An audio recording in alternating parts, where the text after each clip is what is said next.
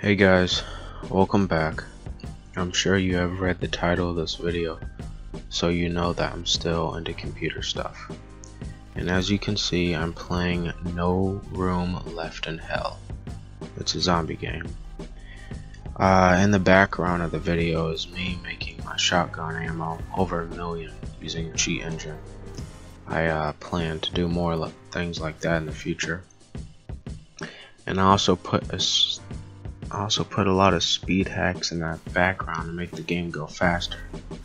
But uh, I'm gonna get straight to the point here. As you read the title of the video, you saw it's an update video. Plus, you know, seeing me use cheat engine. The real reason I'm making this video tonight is because of a buddy of mine asked me if I had stopped making Roblox hacking videos.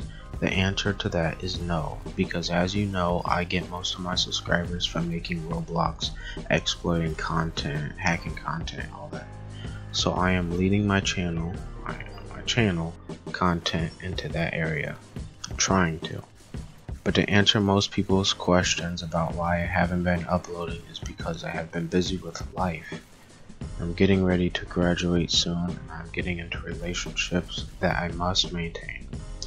And I've been working and studying a lot so I take I took a break from YouTube to get those things done. One more thing I must say before I'm done.